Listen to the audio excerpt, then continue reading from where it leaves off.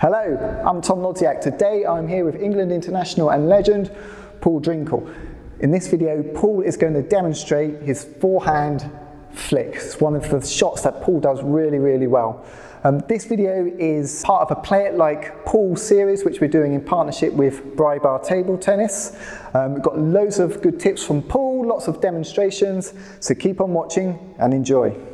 This video is brought to you in partnership with Bribar Table Tennis. Visit bribartt.co.uk today for a wide range of rubbers, blades, bats, balls and clothing from all your favourite table tennis brands.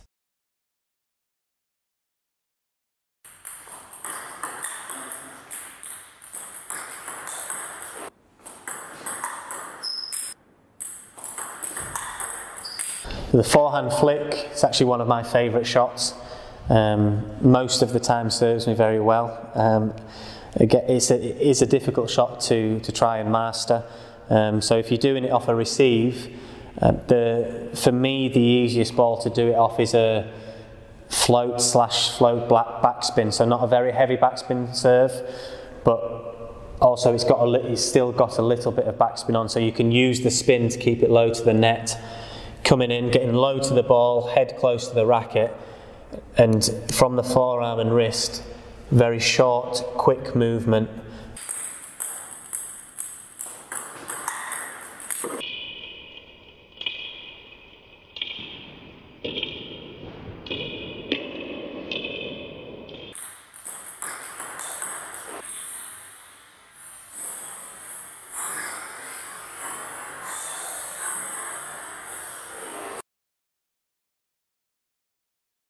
and one thing that's very important with this is as well is, is the placement of your shot. Because if if you're doing a good flick all the time straight to the the forehand the player can get used to that. Um, so make sure you try and, and create one where you've got a bit of disguise down to the backhand or even to the middle.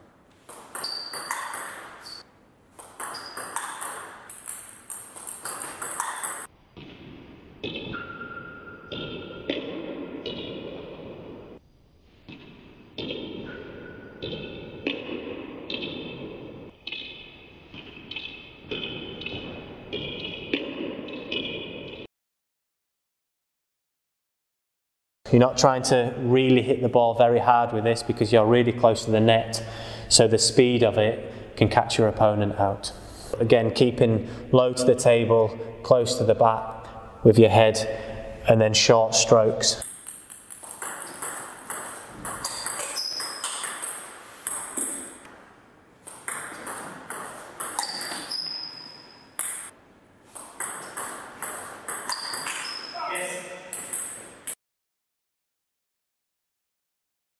Some great tips there from Paul on how to play the forehand flick.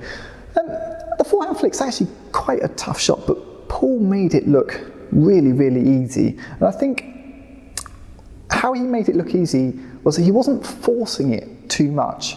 And actually, the flick wasn't that powerful, but the placement was excellent. He'd get it very, very deep into a corner or into the crossover position, so it put me onto the back foot straight away.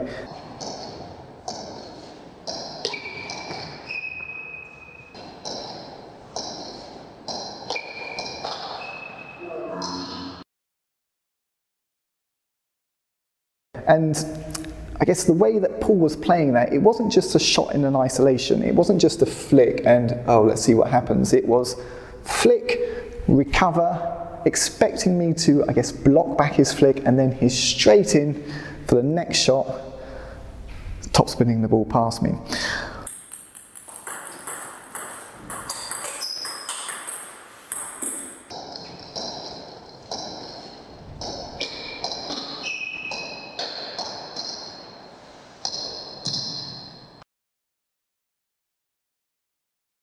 I think we a lot of the time concentrate on the backhand flick and even is progressing playing the backhand flick from the forehand corner. But, you know, the forehand flick's possible. Perhaps we should concentrate on the forehand flick a little bit more.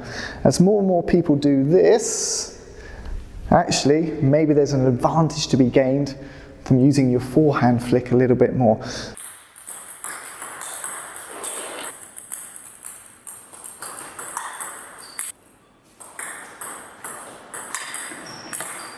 So, forehand flick, effective shot.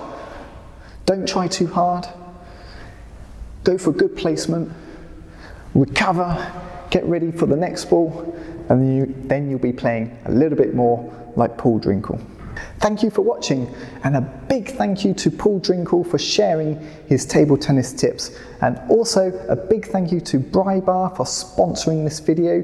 I've got more videos coming soon, so please make sure you click the subscribe button, and I'll see you soon. Bye bye.